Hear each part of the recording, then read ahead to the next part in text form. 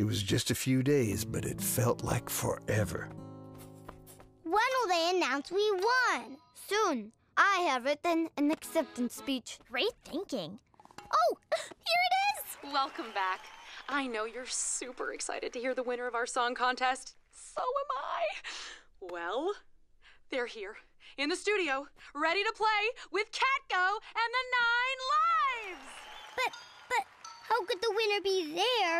when we're here? Sunny day, rock stars.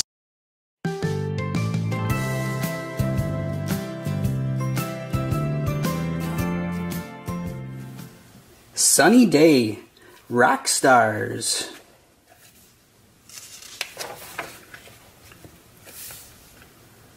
Sunny runs a hair salon.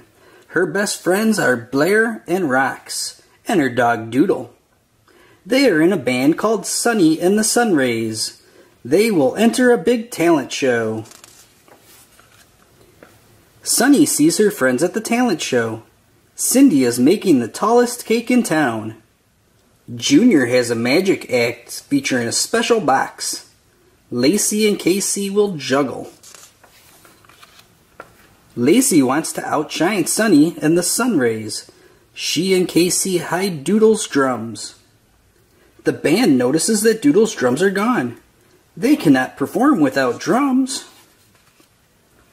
Sunny has an idea. She gets some pots from Cindy. Sunny always has lots of salon supplies with her. She covers the pots with shower caps. Now Doodle needs drumsticks. Sunny gives him combs. Perfect! Lacey will have to find another way to stop Sunny's band. Lacey and Casey make a path of dog treats that leads to Junior's magic box. Doodle follows the path of treats. Lacey locks him in Junior's magic box.